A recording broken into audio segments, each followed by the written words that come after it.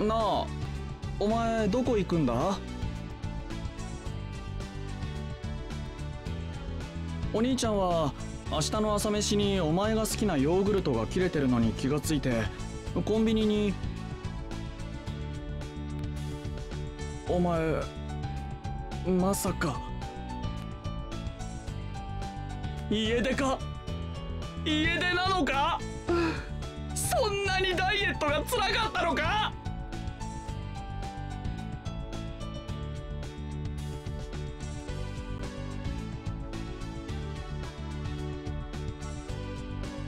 どうしたんだ？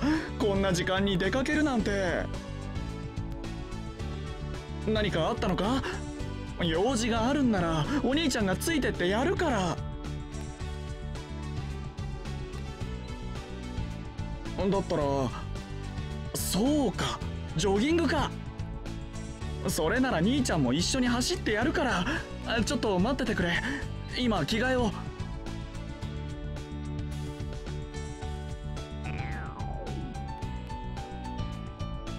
そっか。お前お腹が空いてたんだな。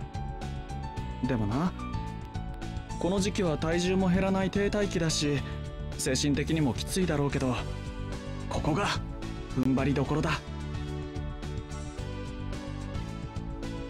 朝になったら兄ちゃんがスープ作ってやるから。今は我慢しような。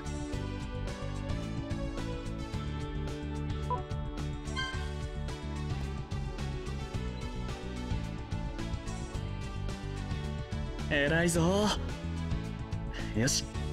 じゃあ明日の朝ごはんはお兄ちゃんが腕によりをかけて作ってやるからな。もしどうしても眠れなかったらお兄ちゃんのところに来てもいいんだぞ。何言ってるんだ。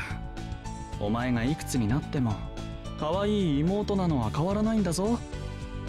だから何も遠慮することはなあこらまだ話が。